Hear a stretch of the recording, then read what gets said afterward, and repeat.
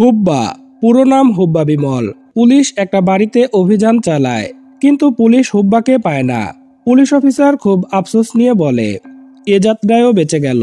দেখা যায় হুব্বা ও বাপিকে। সনাতন বাপিকে ফোন করে হুব্বাকে ধরার অভিযানের কথা জানায়। হুব্বা হাসতে হাসতে বলে, বিমলকে অ্যারেস্ট করবে, হুব্বা বিমলকে। অত সোজা না মামু, হুব্বা কো পাকাড়না মুশকিল ভি নেহি না মুমকিন হ্যায়। এরপর পরিচয় দেওয়া হয় হুব্বার। হুগলির দাউদ ইব্রাহিম খ্যাত হুব্বা বিমল। তার বিরুদ্ধে হত্যাসহ যাবতীয় অন্যায়ের অভিযোগ রয়েছে। বাইশ বছর যাবৎ পুলিশ তাকে ধরার চেষ্টা করে যাচ্ছে। হুব্বার গ্যাংয়ে যারা রয়েছে, উমেশ মাহাতো, চিকুয়া, খেপুগিরি আর বাপি, আরও রয়েছে একটি বিড়াল, নাম ভম্বল, একটা কাকাতোয়া, নাম বকুরানি, সবাই আড্ডা দিচ্ছিল। তখন সেখানে জয়দেব নামের একজন আসে এবং হুব্বাকে বিফ কেস ভর্তি টাকা দেয়। হুব্বা জয়দেবের গাল দুটো টেনে বলে, খুব তো বলেছিলি, হুব্বাকে একটা দানাও দিবি না। এখন তো ঠিকই দিলি। মাঝখান থেকে তোরই ক্ষতি হলো। এ সময় দেখা যায়, জয়দেব টাকা দিতে চাইছিল না জন্যে হুব্বা জয়দেবের সব ধ্বংস করে দিয়েছে। ওদিকে দেখা যায়, পুলিশ হেডকোয়ার্টার্সে আলোচনা হচ্ছিল। হুব্বা কীভাবে আগেই সব খবর পেয়ে যায়? কখন কীভাবে তাকে ধরার অভিযান হবে? পুলিশের ধারণা সনাতন নামের একজন পুলিশ অফিসার হুব্বাকে সব খবর দেয়। এরপর দেখা যায়, হুব্বা ফোনে কাউকে দেখা করতে বলে আর এ সময় সিআইডি পুলিশ হুব্বার ফোন ট্র্যাক করে। পরদিন পুলিশ সিভিল বেশে বিভিন্ন জায়গা অপেক্ষা করে হুব্বাকে ধরার জন্য।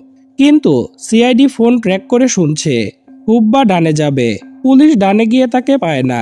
এভাবে চলতে থাকে চোর পুলিশ খেলা। সিআইডি প্রধান দিবাকর গভীর চিন্তা করে একটা বিষয় আন্দাজ করে যে হুব্বার তো সিনেমা দেখার খুব অভ্যাস রয়েছে। তাই তারা একবার সিনেমা হলে গিয়ে দেখতে পারে। পুলিশের এই প্ল্যানটা কাজে লাগে। হুব্বা সিনেমা হলে সিনেমা দেখে বের হচ্ছিল। তখন দিবাকর ও তার টিম হুব্বাকে ধরে ফেলে। হুব্বাকে গ্রেফতারের পর নিউজ মিডিয়াতে তোলপাড় শুরু হয়ে যায়। অবশেষে ধরা পড়েছে হুব্বা। আর অফিসার দিবাকরকে বাহবা দেয়া হয়। গ্রেফতারের পর প্রথমে হুব্বাকে আচ্ছা মতো ধোলাই করা হয়। এরপর আনা হয় জিজ্ঞাসাবাদের জন্য। দিবাকর হুব্বার কাছে তার পুরো ইতিহাস জানতে চায়। হুব্বা বলে, আমার বাবা একটা মিলে কাজ করত। রাতের বেলা লাল পানি খেয়ে এসে আমাকে মারধর করত। আমাকে বই খাতা কিনে দিত না, পড়ালেখার খরচ দিত না। আমি যখন ক্লাস সিক্সে পড়ি, আমি তখন বই নিয়ে স্কুলে যেতে পারতাম না। কারণ আমার বাবা আমাকে বই কিনে দেয়নি। টিচার আমাকে স্কুল থেকে বের করে দেয়। আমি বাড়ি ফিরে আসলে রাতে আমার বাবাও আমাকে মারধর করে আর বলে যে, আমাকে কেন স্কুল থেকে বের করে দেয়া হলো? শখ করে তো আর কেউ এই পথে আসে না। পরিস্থিতিতে পড়ে আমি এই পথ বেছে নিয়েছি। হুব্বার এই হৃদয় বিদারক কাহিনী দিবাকরের মোটেই বিশ্বাস হয় না। সে হুব্বাকে কয়েকটা কিল ঘুষি লাগিয়ে দেয়। তখন হুব্বা গড় করে সত্য বলতে থাকে। সত্য কথা হলো ক্লাস সিক্সের ফাইনাল পরীক্ষায় হুব্বা নকল করছিল। টিচার যখন তাকে ধরে ফেলে, তখন হুব্বা সেই টিচারের মুখে কলম মেরে ক্লাস থেকে বের হয়ে যায়। হুব্বার স্কুল জীবন সেখানেই শেষ। এরপর হুব্বা যখন যৌবনে পা দেয়, হুব্বার বাবা চায়, হুব্বা যেহেতু পড়াশোনা করে নাই, তাই সে যেন মিলে কাজ নেয়। কিন্তু হুব্বা তার বাবার মতো মিলে কাজ করে জীবনটা নষ্ট করতে চায় না। সে চাচ্ছিল বড় কিছু করে জীবনটা পরিবর্তন করতে। হুব্বা তার বাবাকে বলে, তোমরা আমার ব্যাপারে নাক গলিও না। এই নাও, তোমাকে আমি দশ হাজার টাকা দিচ্ছি। এটা নিয়েই থাকো। তোমাদের মতো বুড়ো বুড়ির দায়িত্ব আমি নিতে পারব না। হুব্বার বাবা তখন হুব্বাকে মারতে তেরে আসে। তখন হুব্বাও তাকে উল্টো মার দিয়ে দেয়। আর বলে, তুমি আমাকে ছোটবেলা থেকে যত মার মেরেছ, এটা তার সুদ দিলাম। আর বেশি বাড়াবাড়ি করলে আসলটাও শোধ দিয়ে দেব। তখন হুব্বার মা তাকে সেই টাকাটা ফেরত দিয়ে দেয়। হুব্বা বলে, ফেলে দেয়া টাকা আমি নেই না, এই ডায়লগ আমি দেব না। হুব্বা টাকাটা তুলে নেয় আর জুয়া খেলতে চলে যায়। আর সেখানে সে সবচেয়ে রিস্কি খেলাটাই বেছে নেয়, যেখানে জিতলে এক টাকায় একশো পঁচিশ টাকা পাওয়া যাবে।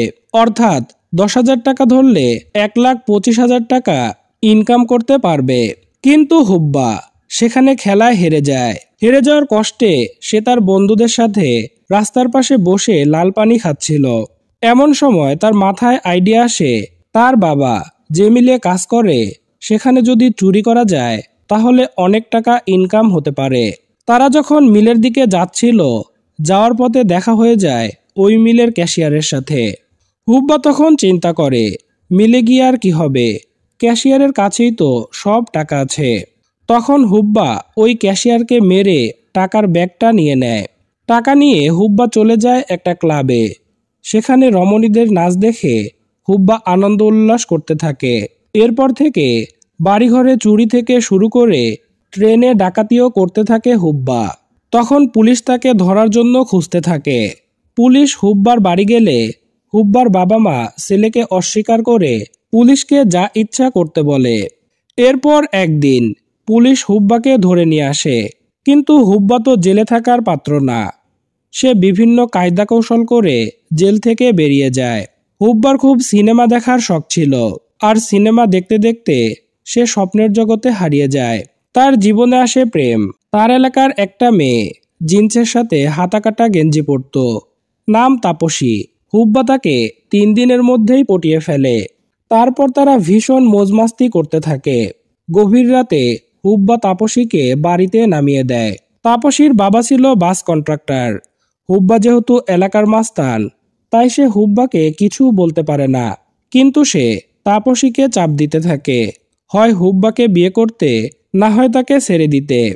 তাপসী তার বাবার কথা না শুনে হুব্বার সাথে মজমাস্তি করেই চলছিল। তারা দুজন নির্জন ফাঁকা বাড়িতে গিয়ে গপাগপি করতে থাকে।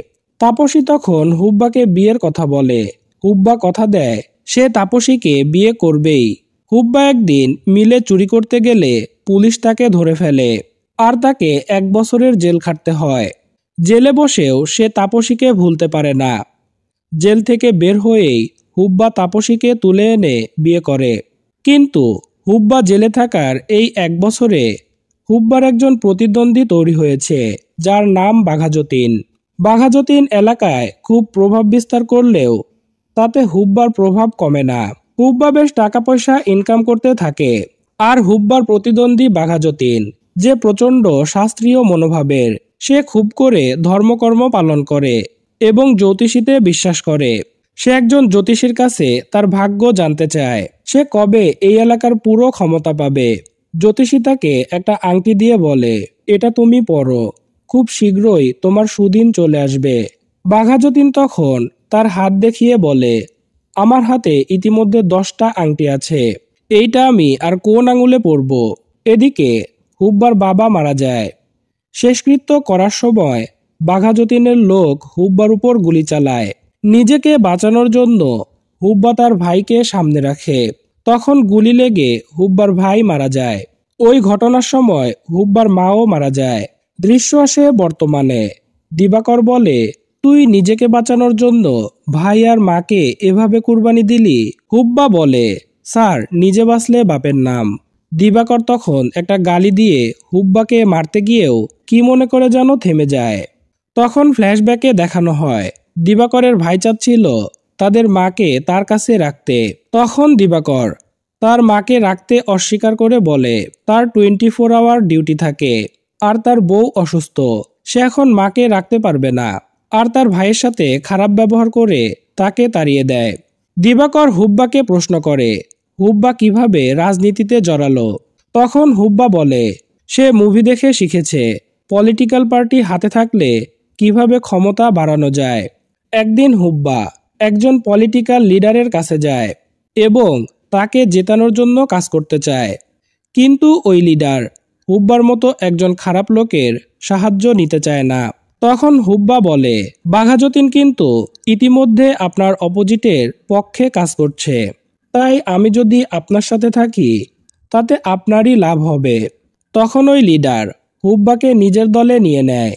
হুব্বা পলিটিক্যাল পার্টিতে যুক্ত হতে পেরে খুব খুশি হয় এবং সে কাজে নেমে পড়ে। প্রথমেই হুব্বা যায় বাঘা যতীনের বাসায়। আর যতীনের বউকে টাকা দিয়ে বলে, যতীন যেন নির্বাচনের মাঠে না নামে। হুব্বা নির্বাচনের স্বার্থে জনসেবা করা শুরু করে দেয়। এলাকার অসহায় মানুষকে টাকা দিয়ে সাহায্য করতে থাকে। আর তার কাছে একদিন সাহায্য চাইতে আসে মিতালি নামের এক সুন্দরী তরুণী। আর হুব্বা তার প্রেমে পড়ে যায়। দিবাকর বলে, তোর ঘরে তো বউ আছে। তারপর আবার প্রেমে পড়লি কেন? হুব্বা বলে, স্যার, মিতালি অনেক হট। শিক্ষিত, এম এ পাস। বুকে জড়িয়ে নিলে শরীরের মধ্যে শিহরণ তৈরি হয়। এদিকে হুব্বার প্রথম বউ তাপসীর ইতিমধ্যে দুইটা মেয়ে হয়েছে। তাই তাদের দাম্পত্য জীবন খুব একটা ভালো যায় না। তাপসীর সম্মতি নিয়ে হুব্বা মিতালিকে বিয়ে করে ফেলে। এরপর চলে আসে নির্বাচন। হুব্বা কেন্দ্র দখল করে একাই সব সিল মেরে দেয়। আর জিতে যায় হুব্বার পলিটিক্যাল পার্টি। পার্টির লিডার হুব্বার প্রতি খুব খুশি হয়। এদিকে ওই সময়ও পুলিশ হুব্বাকে খুঁজছিল। দিবাকর তখন সবেমাত্র এই এলাকার অফিসার হিসেবে এসেছে। দিবাকরকে তৎকালীন পুলিশ অফিসার হুব্বা সম্পর্কে জানায়। হুব্বা অত্যন্ত চালাক একজন লোক। গত আঠারো বছরে তাকে আমরা গ্রেফতার করতে পারিনি। সে সব সময় এটা ভেবে কাজ করে যে পুলিশ তার মোবাইল ট্র্যাক করছে। তাই সে প্রায় এক ডজন মোবাইল ব্যবহার করে এবং একটা মোবাইল দুই ঘণ্টার বেশি অন থাকে না। আর কখন কোন মোবাইল অন হবে সেটা তার সহযোগীরাও জানে না। দিবাকর বুঝতে পারে, পড়ালেখা না জানলেও হুব্বা তার কাজের ব্যাপারে বেশ স্মার্ট তাকে ধরা এত সহজ হবে না। যাই হোক, পুলিশ তো হুব্বাকে খুঁজছেই, আর এদিকে হুব্বা খুঁজছে বাঘাযতীনকে। তাকে মারার জন্য হুব্বা হোলির দিনটাকেই বেছে নেয়। বাঘাযতীন পূজা করছিল, আর ওই অবস্থায় হুব্বা বাঘাযতীনকে টপকে দেয়। এদিকে দেখা যায় দিবাকরের একটা নারীর সাথে পরকীয়া আছে। সে প্রায় তার সাথে ফোন বা এস এম এস কথা বলতো আর মাঝে মাঝে দেখা করতে যেত। সেই নারী আর কেউ নয়, হুব্বার প্রথম বউ তাপসী। যে কারণে হুব্বার প্রতি দিবাকরের ক্ষোভ আরও বেশি ছিল। সে চাইছিল হুব্বাকে সরিয়ে দিতে পারলে তাপসীকে সহজেই পাওয়া যাবে। আর তাই দিবাকর হুব্বার নামে এমন এমন কেস ফাইল করে যে যাতে হুব্বা আর সারা না পায়। কিন্তু হুব্বাও তো কম যায় না। সে যে কাজই করে, তার কখনো কোনো প্রমাণ রাখে না। তার চেলাপেলারা প্রমাণ নষ্ট করে দেয়। আর তাই হুব্বা সহজেই ছাড়া পেয়ে যায়। ছাড়া পেয়ে হুব্বা যায় একটা ফাইভ স্টার হোটেলে এবং সেখানে সুন্দরী নায়িকার সাথে রাত কাটায়। জমজমাট রাত কাটানোর পর সেই নায়িকা যখন চলে যায়, তখন হুব্বার সহযোগী বাপিকে বলে, এসব লোকাল নিয়ে আর কাজ হচ্ছে না। তোর কি বোম্বেতে হাত আছে? বাপি বলে, এসব এখন বাদ দাও। তোমাকে লিডার যেতে বলেছে। হুব্বা বলে, লিডার যেতে বললেই যাওয়া লাগবে নাকি? আমি একজন ফ্যামিলি ম্যান। সন্ধ্যায় আমার ফ্যামিলির সাথে পার্টি আছে। দেখা যায়, হুব্বার ফ্যামিলি পার্টিতে কাঞ্চন এসে পারফর্ম করে। পারফর্ম শেষে কাঞ্চনকে হুব্বার দুই বউয়ের সাথে পরিচয় করিয়ে দেয়। তখন হুব্বার প্রথম বউ তাপসীর সাথে কাঞ্চনের চখাচখি হয়, যেটা হুব্বা বুঝতে পারে। রাতের বেলা হুব্বা তাপসীর সাথে ঘনিষ্ঠ হতে চায়। তাপসী তখন বলে, কি ব্যাপার? মিতালি বাপের বাড়ি যাচ্ছে জন্য? আজ আমার কথা মনে পড়েছে? হুব্বা জানায়, সেরকম কিছু না। তুমি তো আমার প্রথম প্রেম। সেই রাতে তারা দুজনেই খুব জমজমাট রাত কাটায়। এদিকে পলিটিক্যাল পার্টির লিডার হুব্বাকে হন্য হয়ে খুঁজছিল। হুব্বার সাথে যখন তার দেখা হয়, লিডার হুব্বাকে বলে, মেদিনীপুরে গিয়ে তার হয়ে নির্বাচন করতে। হুব্বা জানায় সে মেদিনীপুর যেতে চায় না। সে হুগলিতেই থাকবে। আর এতদিন হুগলির হয়ে পার্টির যে নেতা নির্বাচন করত, সে তো চলে গেছে। এখন হুব্বা সেখানে নির্বাচন করতে চায়। লিডার হুব্বাকে বলে, আমার হাতে তো নমিনেশন দেওয়ার ক্ষমতা নেই। আমি উপর মহলে আলোচনা করে তোমাকে জানাব। হুব্বা বুঝতে পারে, লিডার তাকে নমিনেশন দিতে চাচ্ছে না। তাই সে সেখান থেকে চলে যায়। এরপর সে পুরো একটা সিনেমা হল বুক করে। আর তার সঙ্গীদের নিয়ে সিনেমা দেখে হুব্বা সবাইকে বলে, জানিস, আমার অনেক দিনের শখ ছিল। আমি পুরো একটা সিনেমা হল বুক করে সিনেমা দেখব। আজ আমার সেই শখ পূরণ হয়েছে। যাই হোক, সিনেমা শেষে হুব্বার সঙ্গী চিকু তার বাড়িতে হুব্বাকে ইনভাইট করে আর বলে, আজ তার বউ অনেক মজা করে মাংস রান্না করেছে। হুব্বা তখন রাজি হয়ে যায়। হুব্বার নিরাপত্তা রক্ষীরাও হুব্বার সাথে যেতে চায়। হুব্বা তখন বলে, চিকুর বাড়িতেই তো যাচ্ছি, সিকিউরিটি লাগবে কেন? চিকু আমাকে কি করবে? ও কি আমাকে ঠেসে দিবে? যে কথা সেই কাজ। সবাইকে রেখে হুব্বা বাপিকে সাথে নিয়ে চিকুর বাড়িতে যায়। চিকুর বাড়িতে যাওয়া মাত্রই চিকুর বউয়ের সাথে হুব্বার দেখা হয়ে যায় এবং সে বলে, কি খবর? তুমি কেমন আছো? পুরো বাড়ি তো মাংসের গন্ধে ছেয়ে আছে। তোমার হাতের রান্না খাব বলে চলে এলাম। চিকুর বউ খুব খুশি হয়ে হুব্বাকে বসতে বলে, চিকু বউকে ধমক দিয়ে বলে, এখানে দাদা বসবে কীভাবে? এখানে গরম না? চিকুর বউ তখন বলে, তাহলে দাদাকে নিয়ে আমাদের বেডরুমে চলে যাও। ওখানে তো এসি লাগানো আছে, আমি ওখানে খাবার নিয়ে আসছি। চিকু হুব্বা আর বাপিকে নিয়ে বেডরুমে চলে যায়। তখন চিকু বলে, এই, কে আছিস? এসিটা অন করে দে। তখন কয়েকজন বন্দুকধারী বের হয়ে আসে আর হুব্বাকে টার্গেট করে। হুব্বা তখন স্তব্ধ হয়ে যায়। চিকু আর বাপি হুব্বাকে জানায়, সিআইডি অফিসার দিবাকর, বাপির পরিবারকে জিম্মি করে রেখেছে। বাপি যদি হুব্বাকে না মেরে দেয়, তাহলে দিবাকর বাপির পুরো পরিবারকে মেরে দিবে। হুব্বার আরেক সঙ্গী চিকু, দীর্ঘদিন হুব্বার পিছনে থাকতে থাকতে অতিষ্ঠ হয়ে গিয়েছিল। সে চাইছিল হুব্বাকে সরিয়ে নিজেই হুব্বার জায়গা নিবে। তাই সে বাপির সাথে মিলে হুব্বাকে মারার প্ল্যান করেছে। সেদিন আর হুব্বার চিকুর বইয়ের হাতের মাংস খাওয়া হয় না। হুব্বা পরপারে টপকে যায়। কয়েকদিন পরে হুগলি জেলার হুগলি নদীতে হুব্বার লাশ ভেসে ওঠে। কয়েকজন জেলে হুব্বার লাশ দেখতে পেয়ে পুলিশ খবর দেয়। পুলিশ হুব্বার বউদের খবর দেয় হুব্বার লাশ নিয়ে যেতে। এই ঘটনায় হুব্বার দ্বিতীয় বউ মিতালি অনেক ভেঙে পড়ে। সে দৌড়ে এসে তাপসীকে বলে, ওকে তো পাওয়া গেছে, নদীতে ভাসছিল। পুলিশ এইমাত্র খবর দিল। তাপসী বলে, ঠিক আছে, তুমি রেডি হও। আমিও রেডি হয়ে নিচ্ছি। মিতালি যাওয়ার পর তাপসী ফোন হাতে নেয়, কাউকে ফোন করার জন্য। আর এখানেই শেষ হয় মুভিটা।